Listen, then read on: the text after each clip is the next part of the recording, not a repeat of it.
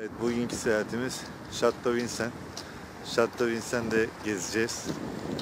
Ee, size buraları anlatacağım. İnşallah güzel olacak. Chateau Vincent'de de Floral girişindeyiz şu anda. Ee, sol taraf Chateau Vincent. Ee, bir zamanlar Fransız kralı bu arkamda görmüş olduğunuz şatoda yaşamış. İçerisinde büyük bir park var burası. Ee, yaklaşık 4 bölümden girilebiliyor buraya. Biz burada e, Nasyon istasyonundan indik. Nasyon istasyonundan indikten sonra 3 e, durak sonra Chateau Vincent'e geliyorsunuz ama e, Vincent girişinden de girebilirsiniz. O da bir durak sonra hemen Nasyonlar. Şimdi şöyle bir e, şey söz konusu. E, Parisliler normalde buraya e, her yönden gelebiliyorlar. Yani T3 aktarmalı olarak da gelebiliyorsunuz. Fakat e,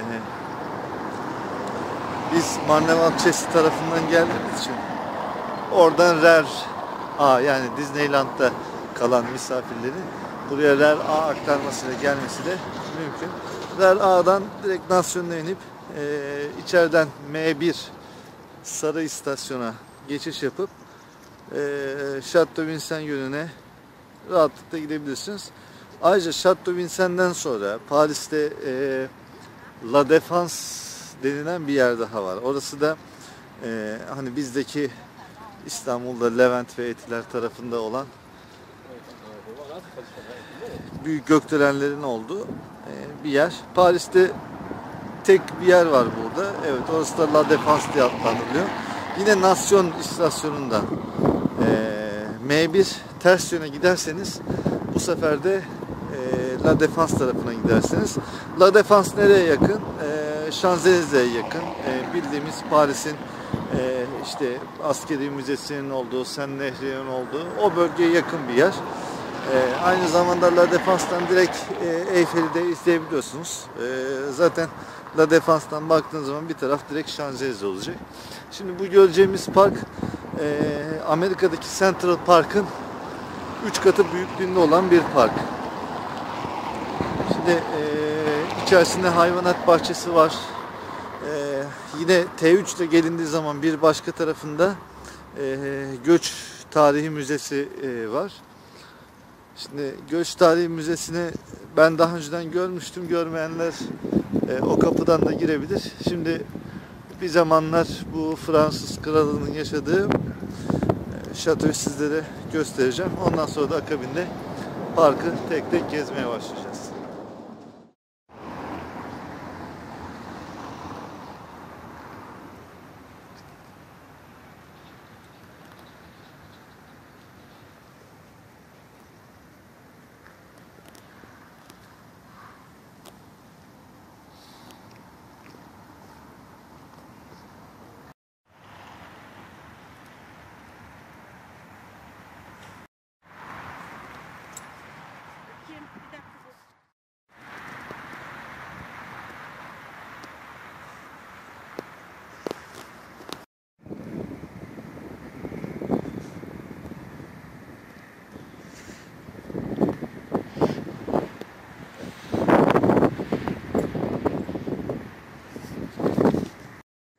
Arkamda gördüğünüz yer Park e, Flora de Paris. E, Park Flora'nın giriş yeri. E, isteyenler orada bir resimle çektirebilir.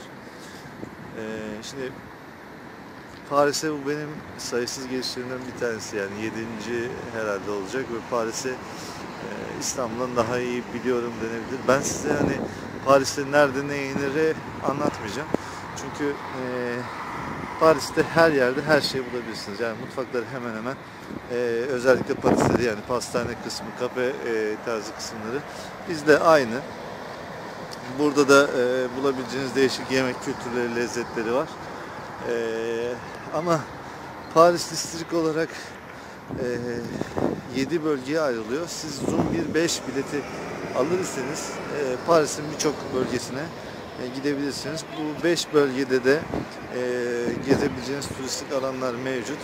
E, şimdi biz Paris'e göre baktığımız zaman e, doğu tarafında yer alıyoruz. E, Chateau Vincent ise e, biraz daha güney doğusu gibi e, düşünebilirsiniz. Şimdi Park de Vincennes'in içerisine gireceğiz. Akabinde daha sonraki videolarda size hafta içi e, Paris'in içinde olacağımız için biraz daha e, Paris merkezini tanıtacağım. E, bu sefer Güneydoğu'dan başladık. Yavaş yavaş batıya doğru gidiş yapacağız. Şimdi karşıya geçelim. Evet arkamda e, tekrardan gösteriyorum. Farklı floral var. Farklı floral Paris. Evet. Meydanları gayet geniş.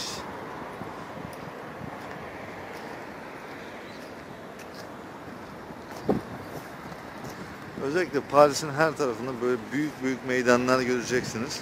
Hani zannetmeyin ki bir özelliği var.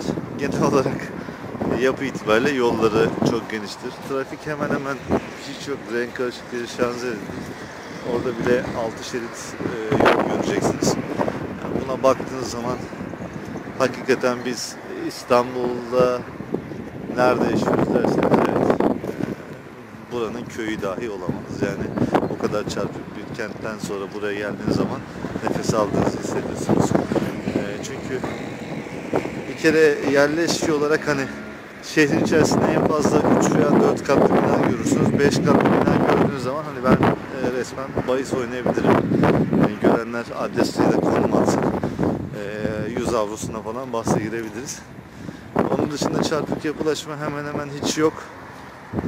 Hiçbir yerinde yoktur. Yani mesela geldiğiniz diste, e, distrik üzerinde mesela Torcy, Valde, Fontenay, Vincennes, e, Nation, e, Noisy, Şamp yani buralar mesela e, banliyölarıdır ama oralarda dahi göremezsiniz. Hep tek katlı evler vardır.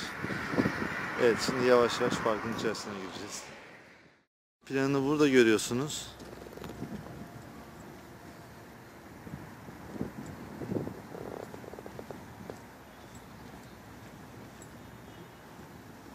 Evet. Şu anda bulunduğumuz yer burası. Gerçekten büyük bir park. Arkamda görmüş olduğunuz park Mazön du Jardin Botanik, e, Botanik Parkı.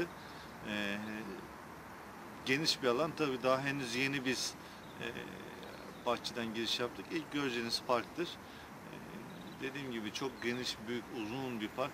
Dibine kadar yürüyebiliriz ancak geriye tekrardan dönüp metroya aynı yerden binmek zorunluluğunuz yok. Her yerden parktan çıkış var. Dört çıkışı var bu parkın. İstediğiniz noktadan ayrılıp bir başka metro istasyonundan yolunuza devam edebilirsiniz.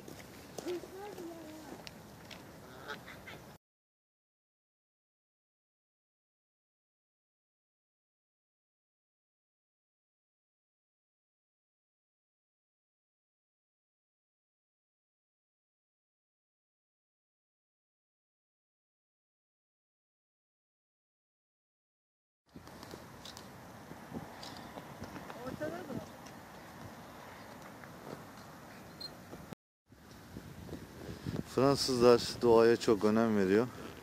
Üniversitenin botanik e, bölümünde okuyan öğrenciler bu parkın düzenlemesinde görev alıyor. Bakın gördüğünüz gibi herkes bir şey dikmiş ve ne olduğu ile ilgili kartlar üzerinde bilgiler yazıyor. Organik beslenmeye ve bu yapıya yeşilin korunmasına da çok önem veriyorlar.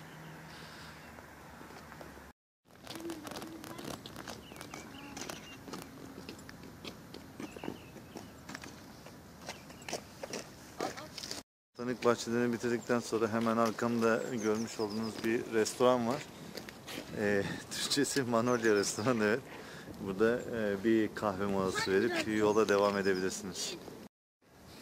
Hemen karşıda Astral Tiyatro var. Yaz dönemlerinde burada e, tiyatro gösterileri yapılıyor.